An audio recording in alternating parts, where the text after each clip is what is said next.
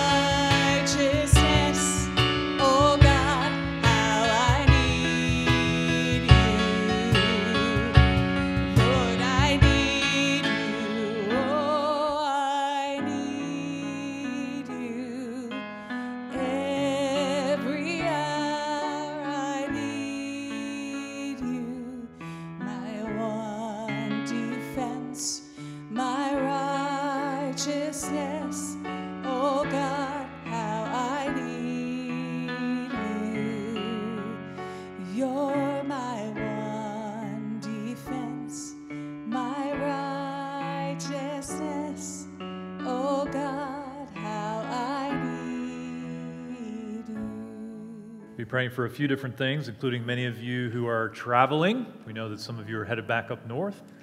We'll be praying for you and for the many things that are happening at this church during the summer. Even though it's summertime, we keep going. Let's pray. Our Father, we acknowledge that we can, again, approach your throne of grace with confidence only through Christ. And we know that even as we need you, we come to you in the, in the form or through Jesus. You see us through your Son, Jesus. And so we can be assured that you receive our repentance, our prayers. And Father, because of your Son, Jesus, as well, you continue to give us your grace even today. And so, Father, we look to you. We need you. We pray that you would continue to be glorified in us and through us and our different uh, people who are leaving now, uh, members of our body, friends, and family who are going up north. We pray that you would keep them safe. Father, we pray that you'd supply them with their needs, all the way from gasoline to time with family. Father, would you refresh them as they go north and bring them back to us safely uh, at, uh, at the end of this summer. Father, we do pray too for the many who are in need physically and emotionally, spiritually. We pray for uh, Jerry as he's recovering from surgery on his knee. We pray that you'd give him what he needs to uh, do physical therapy. Father, would you ease his pain? Pray for Linda Sanders as well. We pray for Bruce Hillenbrand and uh, Father for others who are suffering. We pray that you would give them healing that comes by knowing you and by resting in you alone. Father, we also do pray for uh, the different things coming up, including our celebration of installing both uh, Pastor Steve and myself. We pray that you'd bless our families and your church. Pray that, Father, you would even now prepare the hearts and minds of the children who will come to Vacation Bible School. We pray, God, that you would use this as an opportunity to preach Christ on this island and in East Naples. We pray that you'd be glorified as we serve our kids, our families. We too pray for that student ministry retreat that will happen in July, that you would bless them as they go away. Father, we're so grateful for the way that you've provided for our needs. And we do pray now that you would continue to provide uh, for our needs. We read in 2 Corinthians in chapter 9 that the point is this whoever sows sparingly will also reap sparingly, and whoever sows bountifully will also reap bountifully. Each one must give as he has decided in his heart, not reluctantly or under compulsion for God loves a cheerful giver. Father, we pray that you would use these tithes and offerings that are given uh, cheerfully. And uh, Father, we pray that you would use them for your glory, the expansion of your kingdom. Would you support your kingdom work around the world and on this island? Would you, Father, be glorified as we seek to love others well? We love you. It's in Jesus' name we pray. Amen. So I did just pray as well for the tithes and offerings that we'll, uh, we will all give. There are different ways to give here. We'll also be passing uh, the baskets around. And uh, what we want to do, what we hope that God would do through us and in us, is continue to transform us and to communicate the hope that we have in us on this island. I'm going to take some time and sing to the um, King about. Uh, Jesus and what a wonderful mystery he is to us sometimes. Um, but he's also our King, and to ha- today we are going to sing some praises to him. So sing this with me. Behold the wondrous mystery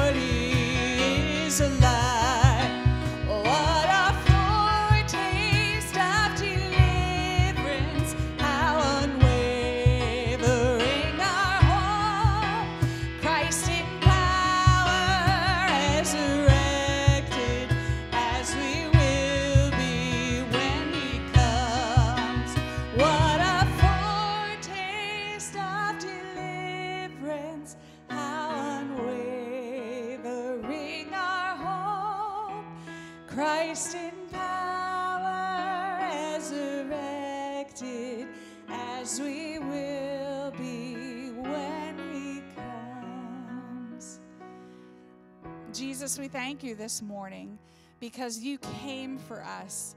You sacrificed yourself on the cross so that we could have relationship with you, so that we have a hope to look forward to, that this world is not all that's left for us, that we get to spend eternity dwelling with you forever. And so thank you, Father, for helping us to open our eyes and our hearts this morning to what you have for us that you would speak to us that we would not leave this we would not leave this place the same as when we came but that you would transform our hearts and our minds. In Jesus name amen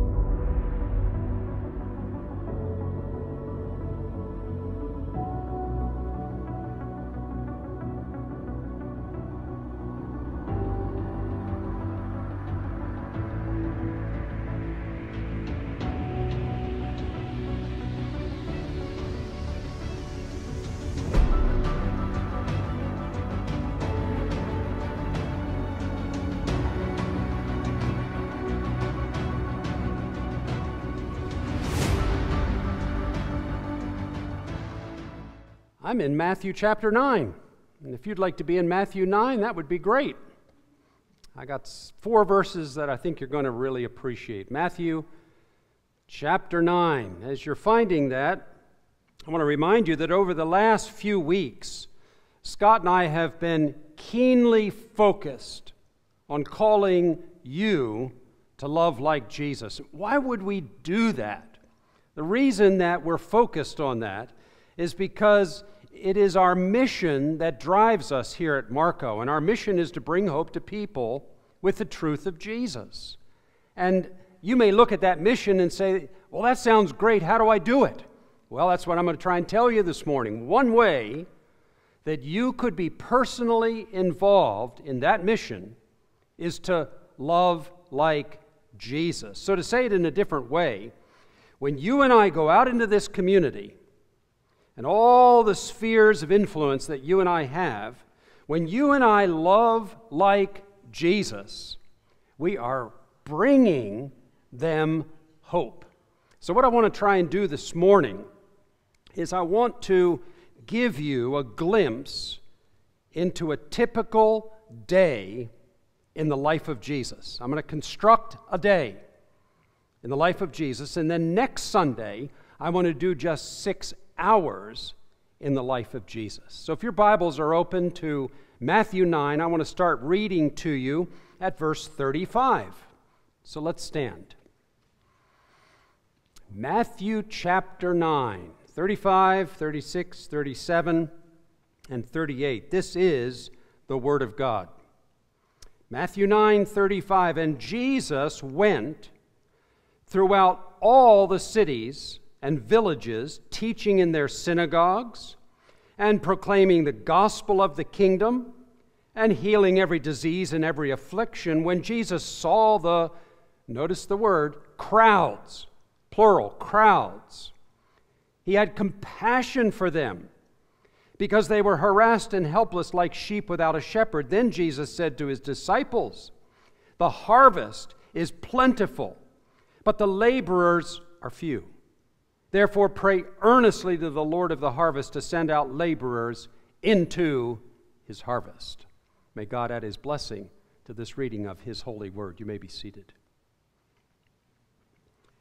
Well, some of you have heard through the grapevine that this past week my lawnmower broke. Now, that engine would crank, I'm telling you, it would crank, but it would not start.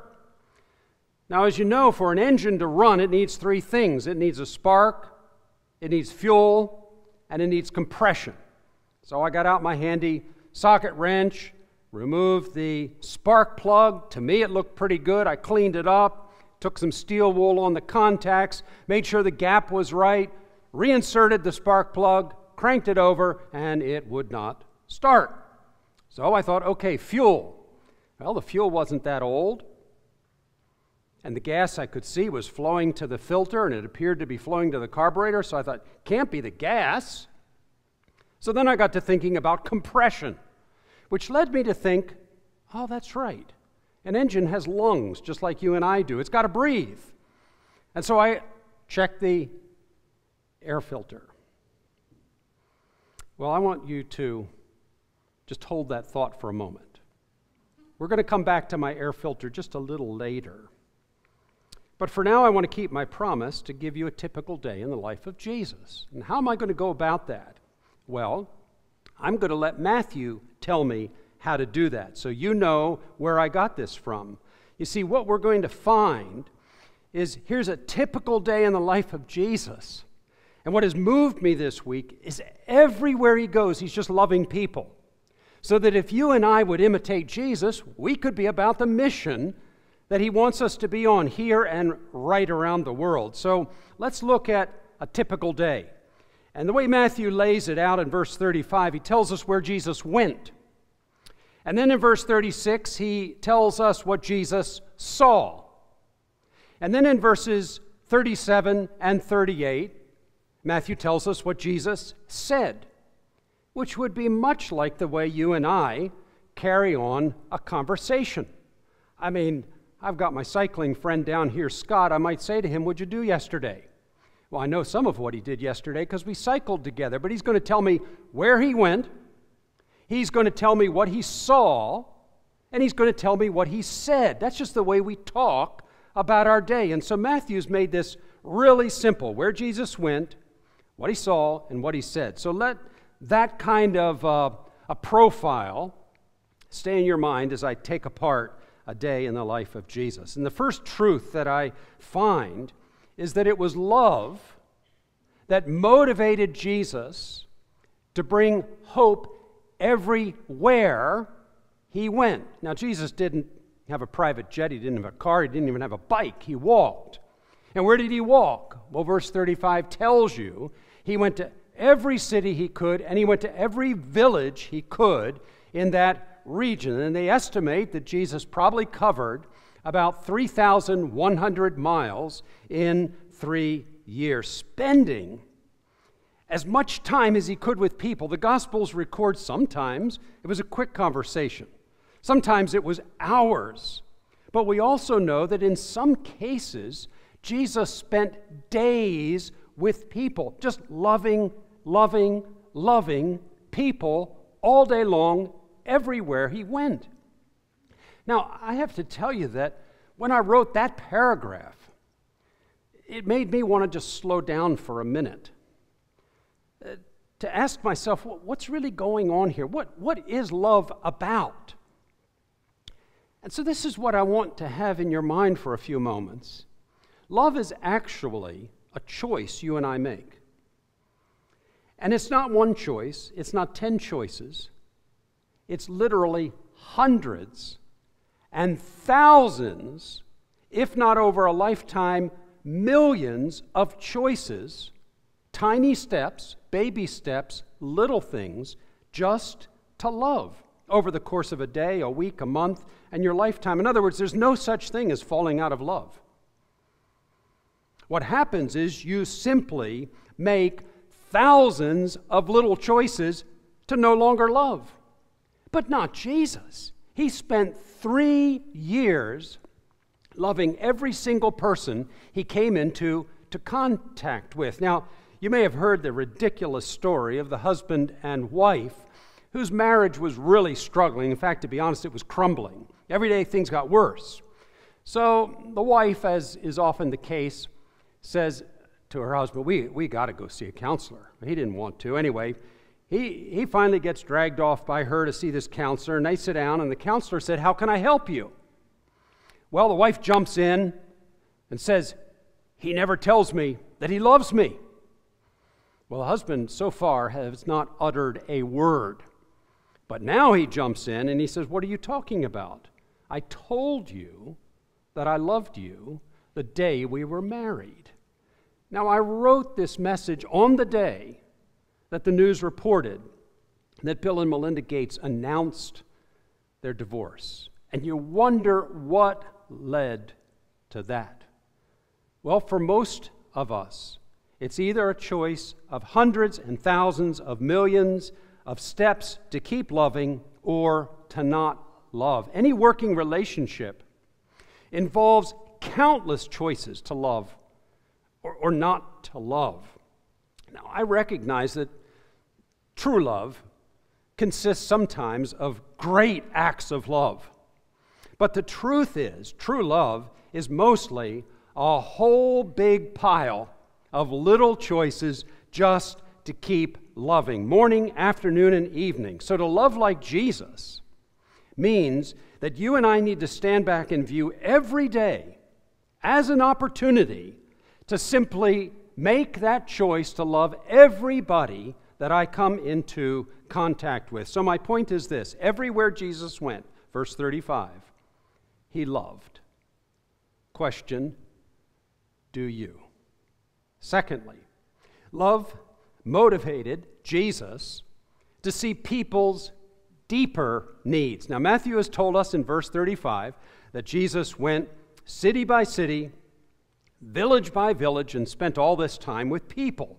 Next, Matthew tells us what Jesus saw. And it says there in, in 36 when Jesus saw the crowds, what did he see? Now, Jesus didn't just merely observe surface details. Verse 36 tells us that as he looked at the crowds, he saw the people, notice the language, that they were harassed and helpless, like sheep without a shepherd. And then what happens? As he's staring at these people, as he's taking in the data of their lives, verse 36 says, He had compassion on them.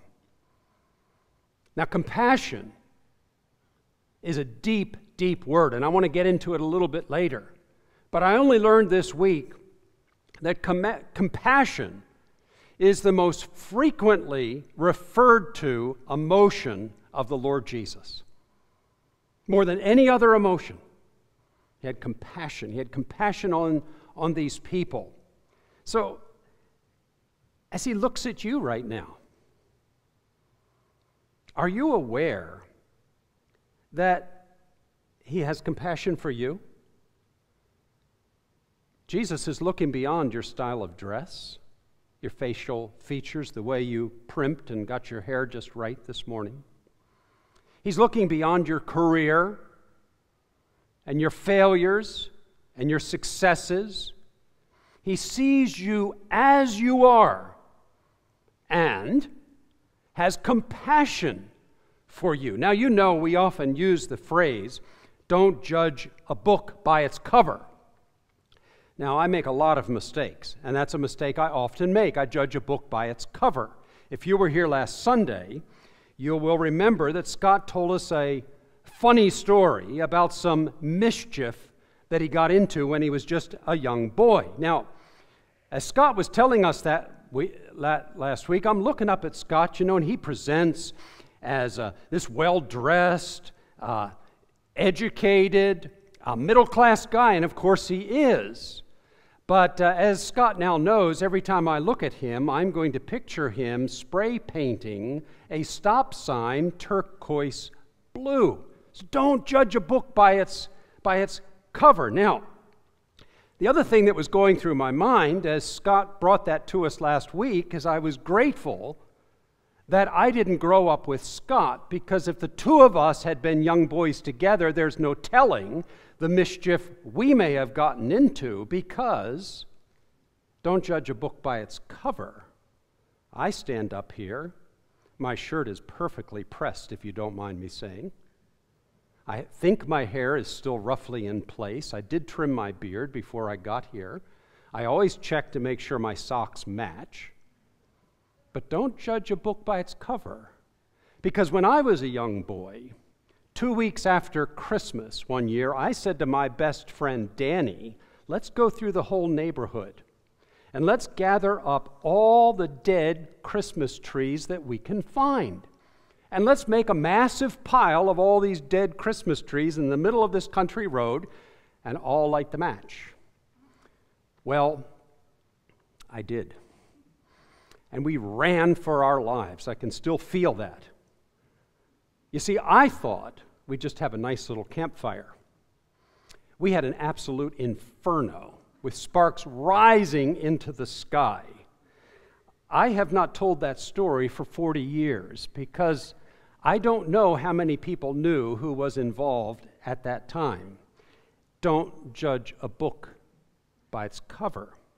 You see, Jesus is looking right inside of you right now. Beyond the shine, beyond the polish, behind the smiling face, middle class manners, cultural behaviors, is the real you. And while you're capable of fooling a few people, you can't fool Jesus. He both sees you and loves you. He's looking right at you right now. He knows who you really are. And what's going on for Jesus? The emotion of compassion is oozing out of him for you this, this very second. You see, what does he see? What does he see in me? What does he see in you? You see, as he was looking at the crowds, we know what he saw.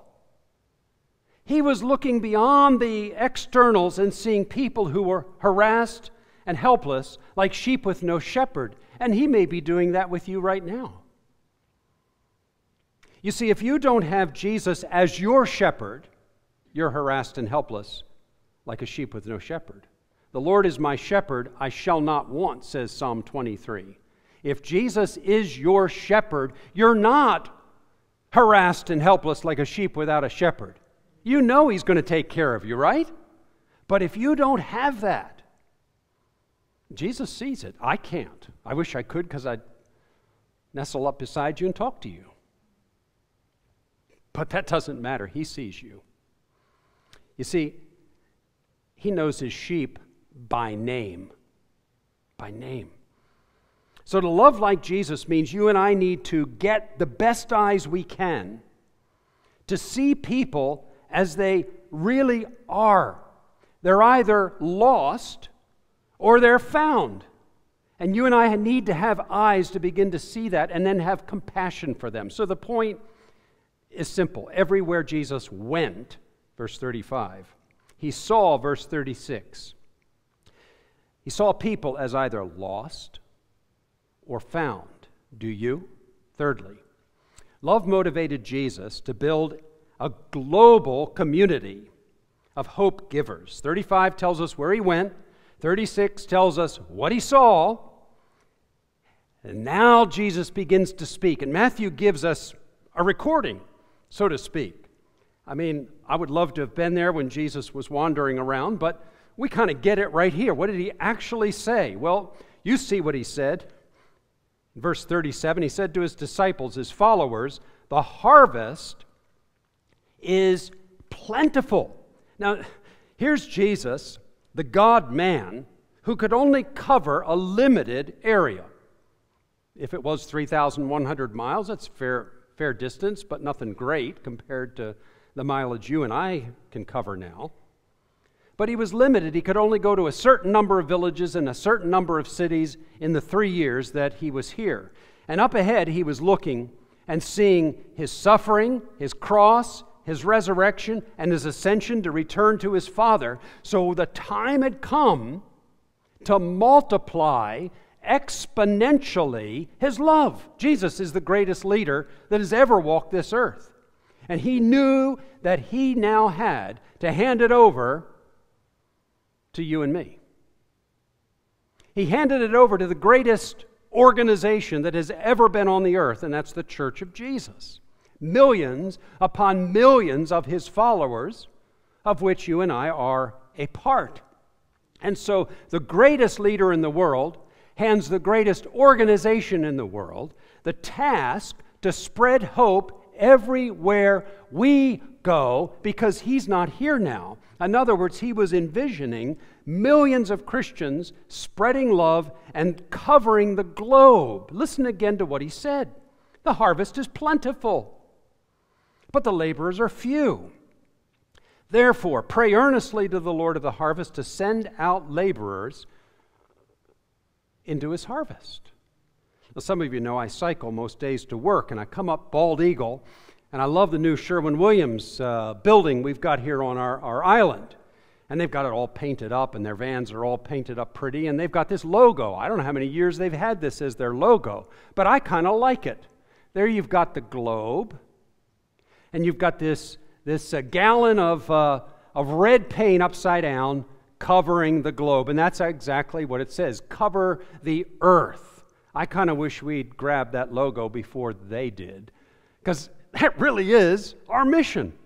It really, I look at that globe and I think, well, paint is not our product, but hope is our product. And we ought to take a gallon of of hope and just pour it over the whole globe. That's what you and I are supposed to do. We're to imitate Jesus. Now, you know the phrase, you grew up with the phrase. Imitation is the sincerest form of flattery. If you imitate Jesus, if you love like Jesus, then you're honoring him, which is your purpose for being on this planet. One of the jobs uh, that I took to get us through seminary back when I was young was to drive school bus in Philadelphia. Now, I can still remember when I landed that job. I walked into the office and they did not throw me a set of keys. They did not say, Steve, your bus is the fourth one out the back in the pothole filled parking lot in Philly. No. They assigned me to a driver. So I got in the seat behind the driver, and this lady kindly taught me about driving a bus. First, how to get out of the parking lot because literally it was pothole filled. And she said, The first thing you're going to do is take a mirror off the bus if you're not careful. She showed me how to do that. She showed me my prescribed route.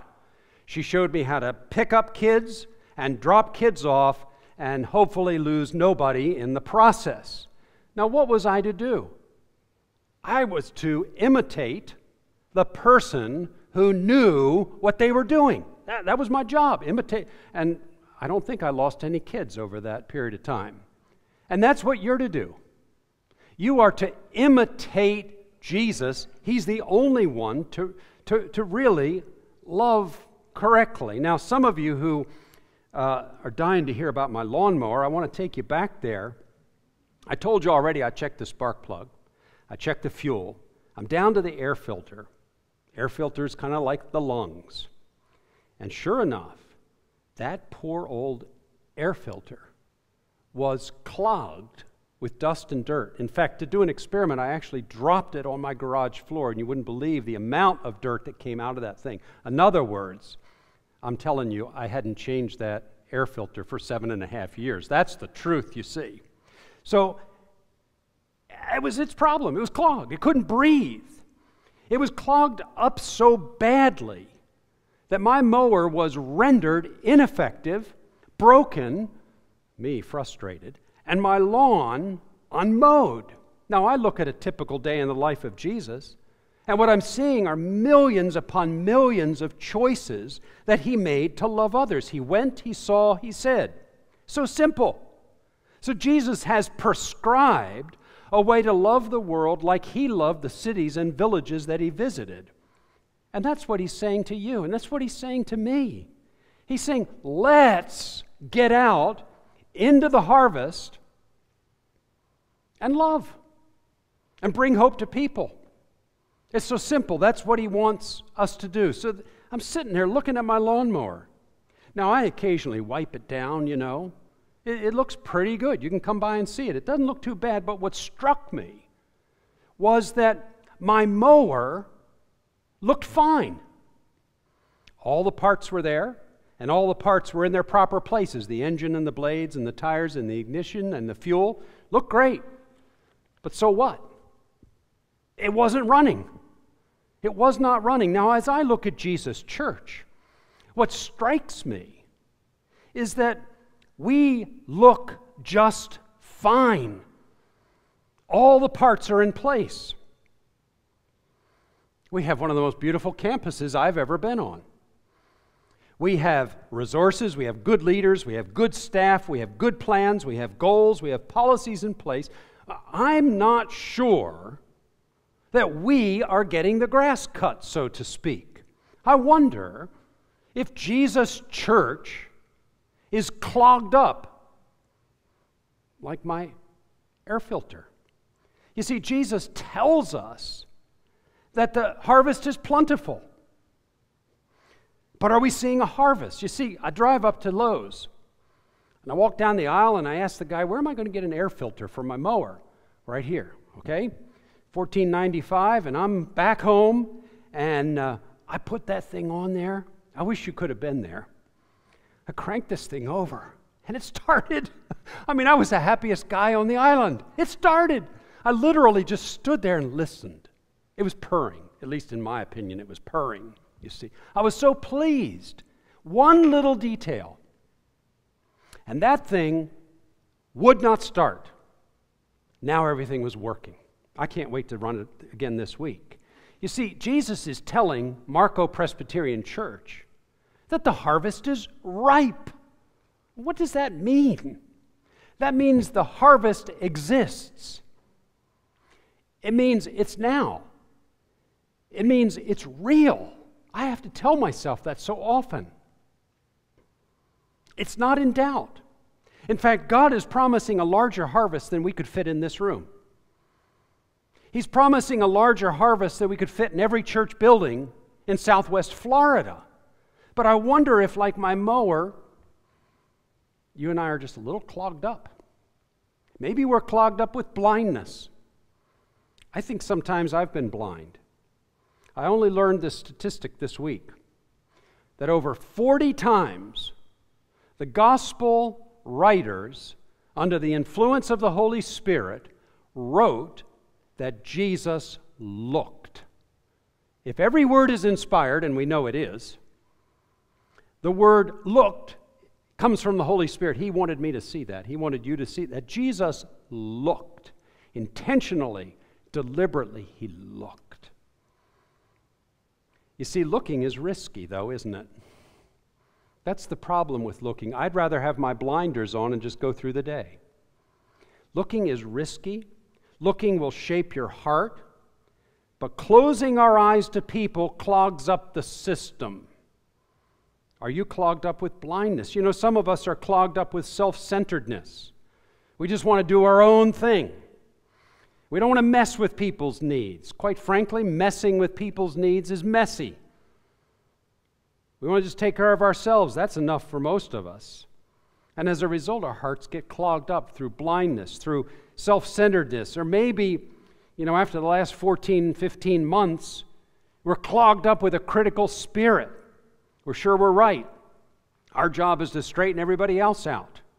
But you know, the problem with adopting a critical attitude toward everything is you don't have any time for compassion.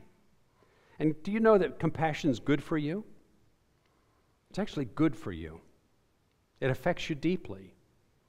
You see, the problem with judging other people is it's really a knee jerk reaction. It's really very simple to judge people. It takes little thought, it's quick. Whereas compassion is just the opposite compassion is slow. It's a little bit like that dial on your oven where you just put it on simmer.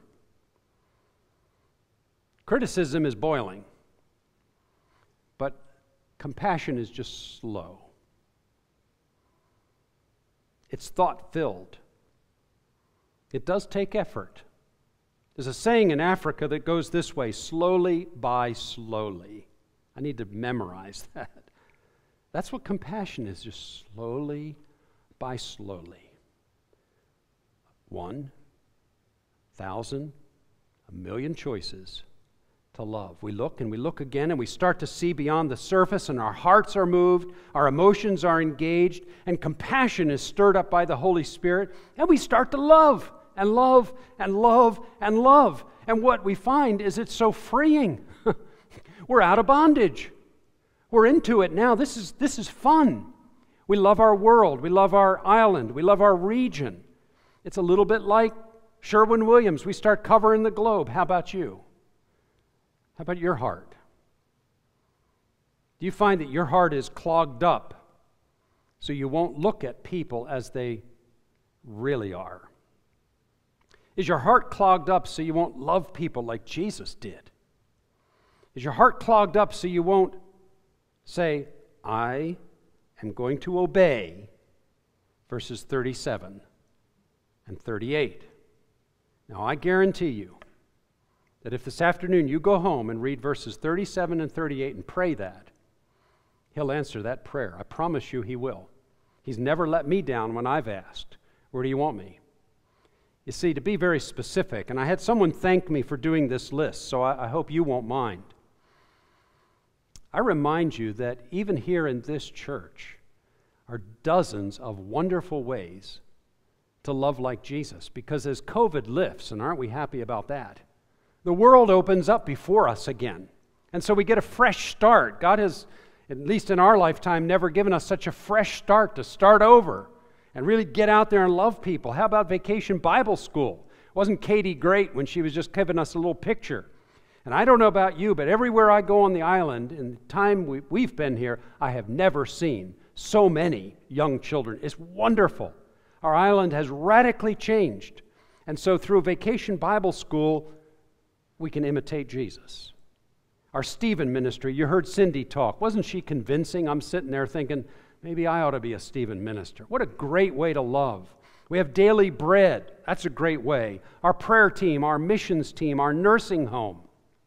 Our own mission in Atlanta has set a goal to obey verses 37 and 38, and as a result, they're going to ask the Lord to give them 192 I have that correct. I checked it out. 192 new cities around the world that they've never reached before. That, that sounds so massive to me, I can't get into it. But that's the goal, the prayer goal 192 new cities and 29 new university campuses. And don't we want to reach university students as we do through Lucas and Bobby Lee Tanner?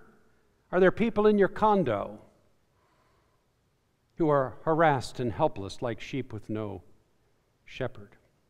Are there people in your neighborhood, your country club, your yacht club, people at Walmart and Publix and Winn Dixie, on the golf course, your evening walks? Well, if you could see inside, they're harassed and helpless if Jesus is not their shepherd. So let's ask the Lord of the harvest to send us out to love like Jesus. Let's pray. So, Father, as I often say, we're going to need a lot of help to love like you do. Forgive us when we don't, and help us to do it today and every day. In Jesus' name, amen. So today we have um, we have read the word, we have prayed the word, we've heard the word being preached, and now we have this wonderful opportunity to respond to God's word. And um, the song that we're going to respond with is usually done as a call to worship. Um, but the reason I picked it is because I feel like we are supposed to, we are called to worship with our whole lives, all the time, not just on Sunday morning. And it's also a song of thanksgiving. And what it's based off of is the Old Testament, the New Testament, all these different scriptures. It comes out of the Bible directly, all of this um, song. But one of the scriptures that they used is this one. And I think it's really appropriate. It says, it's Romans 5 2 that says, Through him, Jesus, we have obtained access by faith into this grace in which we stand. And that's what we get to invite people to be a part of and then we rejoice in hope of the glory of God. So, would you stand and let's sing rejoicing as we leave today so that we have hope in our hearts to invite people to be a part of this wonderful grace we have found?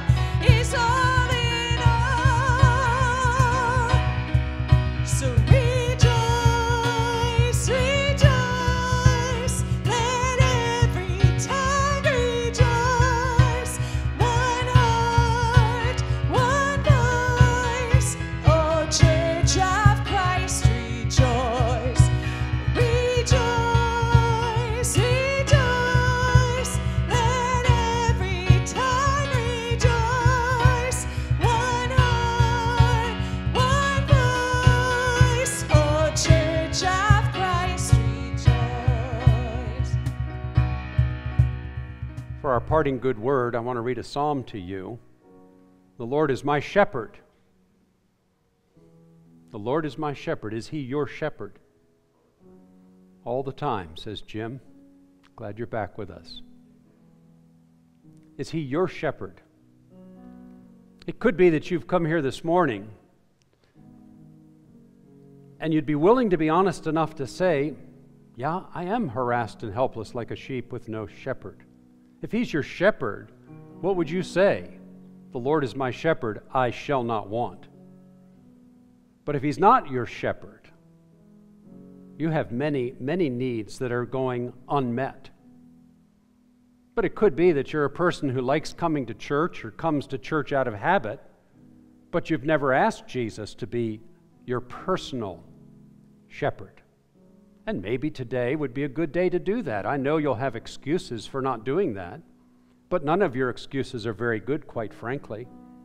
There's nothing wrong with May the 16th, 2021, to say, Lord Jesus, I've been going to church for years, but I've never asked you to be my shepherd. And you could simply do that by saying, I know I'm a sinner. I got a lot of sins that need to be forgiven. I'd like a fresh start. There are times I'm harassed and helpless like a sheep with no shepherd. Would you come and be my good shepherd now? And you know what he'll do? He's already oozing with compassion for you. And he'll show you compassion so good that you'll say with the psalmist, He makes me lie down in green pastures. That sounds pretty good, doesn't it? He leads me beside still waters. He restores my soul.